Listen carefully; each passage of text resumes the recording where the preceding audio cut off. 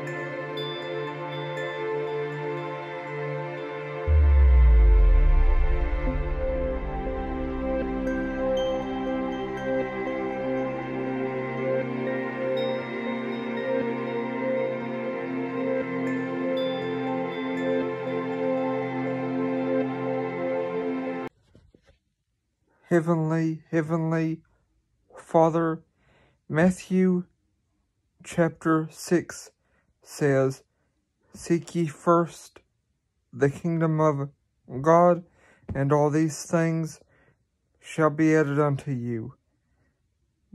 James 4 says, Draw nigh to God, and he will draw nigh to you.